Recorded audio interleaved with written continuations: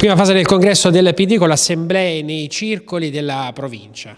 Sì, allora domani sera e poi venerdì e sabato eh, si inizieranno e si concluderanno i congressi dei circoli territoriali, sono 16 circoli, svolgeremo 10 assemblee in tutto il territorio del comune. Come si svolgono queste assemblee? Allora, intanto a queste assemblee potranno partecipare non solo gli iscritti ma anche i simpatizzanti.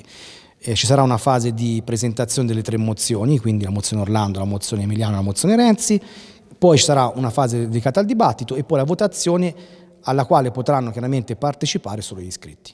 Ci sono dei risultati che già ci potete dare? Sì, allora per quanto riguarda il comunale appunto iniziamo domani sera, ma a livello provinciale diciamo che sono stati fatti circa un terzo dei, dei congressi dei circoli, eh, l'affluenza è stata un, un pochino inferiore al 60%, diciamo quindi in linea con quella che è stata il precedente congresso e fino ad ora i risultati sono che la mozione Renzi è intorno al 72%, la mozione Orlando intorno al 27,50% e ultima la mozione Emiliano che ha, che ha raggiunto solamente due voti.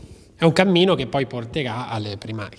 Sì, chiaramente questo è un, un cammino eh, di preparazione e di ascolto dei cittadini e degli iscritti che poi porterà il, alle primarie del 30 aprile a cui potranno partecipare tutti i simpatizzanti dell'elettorato di centro-sinistra.